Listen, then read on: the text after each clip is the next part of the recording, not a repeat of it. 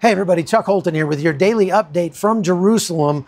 Let's talk about what's going on in the war today. The operation in the West Bank is expanding. It's already the largest operation in the last 22 years. And you know, if you're old enough to remember the Second Intifada, which happened between 2000 and 2005, uh, you'll remember that one of the things that marked that period of violence was the incredible number of suicide bombings and car bombings that happened back then.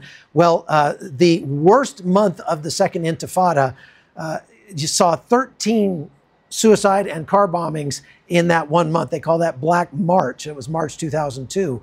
And I have to just say, in the last five days, I'm sorry, in the last three days, the IDF has thwarted or fortunately they missed out on uh, five car bomb attacks in the West Bank. So two of them actually went off at a gas station, but they didn't kill anybody.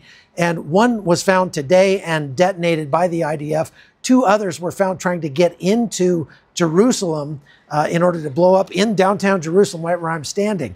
And so uh, this is a increasing concern. We also had the shooting that I mentioned yesterday, and so that's that's huge. One other thing that we're seeing today is that the uh, Hamas terrorists have released a video that shows videos of all six of the hostages who were just murdered in cold blood. And uh, they said at the end of the video that they will be showing their farewell messages very soon. Uh, what that means is they're engaging in psychological terror on the Israelis. And in some sense, it's working because you've seen tremendous number of protests today all around Israel. They shut down the airport for a time. Uh, the, the labor unions went on strike. And this is all a bunch of very naive people who think that by surrendering to Hamas, they'll be able to get their hostages back and uh, not have more hostages taken later. Uh, Benjamin Netanyahu is staunchly against that.